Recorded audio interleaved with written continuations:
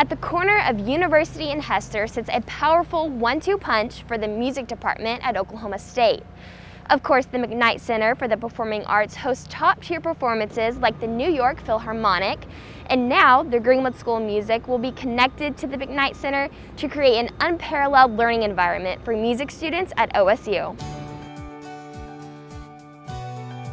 Really, when it comes down to it, it's because of exceptional leadership here at Oklahoma State University.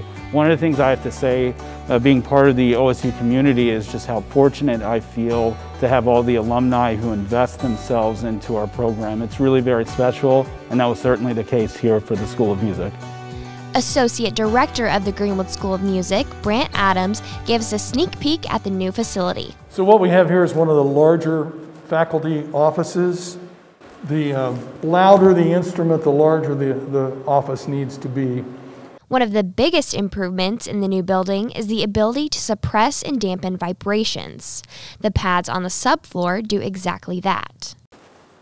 Okay, so we're very excited about this space. This is going to be our in house recording studio.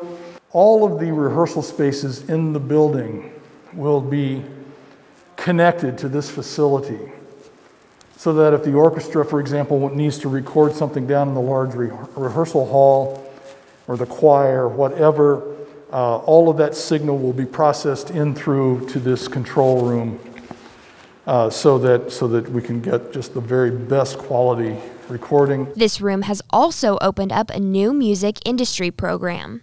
So, this is a space we're, we're very excited about and um, it's probably the most relevant to our students. And this what you're looking at in this space will be a suite of practice rooms. There will be about 25 practice rooms of various sizes for ensembles and individuals.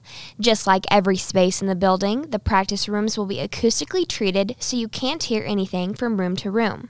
Right, so we're entering one of our three large rehearsal rooms. This is specifically the choral rehearsal hall, um, where choirs of various sizes will rehearse you can kind of get a sense of how high these ceilings are. And that's why, of course, uh, there's not a lot on the second floor because the top half of this room is, is, is up there for all kinds of acoustical reasons. Adams said these rooms probably have gotten the most acoustical attention of all the rooms in the Greenwood School of Music. They have slanted walls to avoid parallel surfaces so there's not sound bouncing back and forth. There will be curtains along the top that are adjustable depending on how reverberant or how dead you want the room to be. From the student lounge here, you can kind of see right here there's a set of double doors, and that moves directly into the, into the uh, back of the McKnight Center. Students will use the recital hall in the McKnight Center, and the Greenwood School of Music has direct access to the McKnight Center. Having the McKnight Center here uh, with the kind of events that they pull in will give our students an experience that they really would they'd have to be in LA or New York or some, some large city like that to have the opportunity. I think of just two people who are just absolutely invested in this university.